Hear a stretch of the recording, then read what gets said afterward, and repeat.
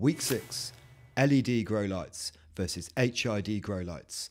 It's time for our first flower count. The flower count is a useful early signifier of the forthcoming yield. Of the four LED grown plants, only one is flowering, the front right plant, and it has two blooms.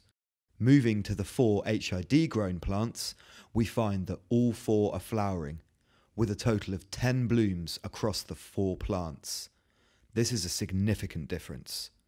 Remember, all other factors growing media, nutrient solution, feed cycle, and light cycle are consistent. The only difference is the lighting, and it is creating a huge difference in the health of the foliage, in the height and development of fruit bearing structure, and in the time taken to reach maturity.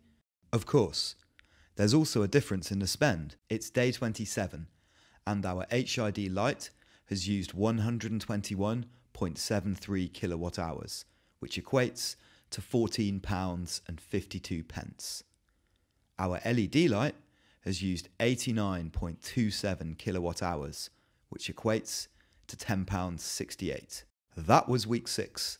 The battle of the acronyms has given us flowers, and it was a little one-sided. Subscribe and check back next week and see how this battle plays out.